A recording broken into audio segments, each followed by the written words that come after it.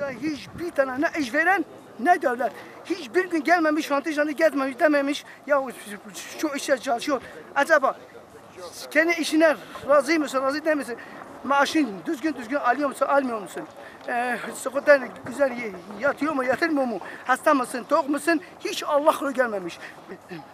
Cumartesi, pazar da tatile hiç vermiyorlar işçiler. İşler 24 saat çalışıyor, 24 saat. E, ana firmayı burada e, yol açtı.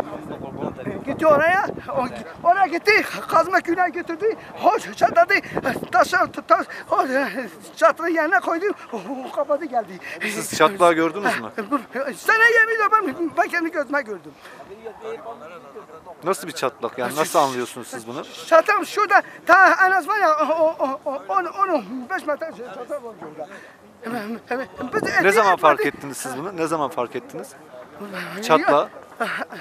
Abi hey tamam, üç sene önce, siz- çatamada, üç sene önce, işi adamı akladı, aklamadı, ana firması ödedi, hiç kimi hekmeni almadı. Çatıraları kazmayla küreyle kapatmışlar.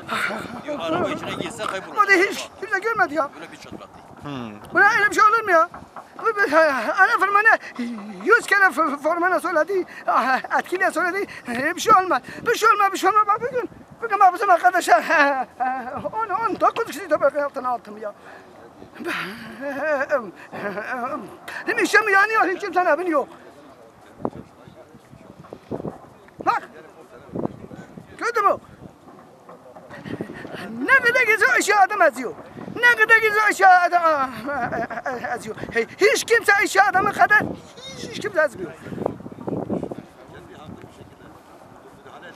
İşçi adamı iş, işini yeri yanıyor. Yanıyor, yanıyor, yanıyor. Ne iş beni haberi var, onun ne ne haberi var. Abi ben, ben ne kimse korkarım, onu kimse tanıyorum ben. Tamam mı? Çünkü, çünkü benim işim yanıyor ha. Bak, Şurada onu, on, kaç tane hasim yatıyor burada.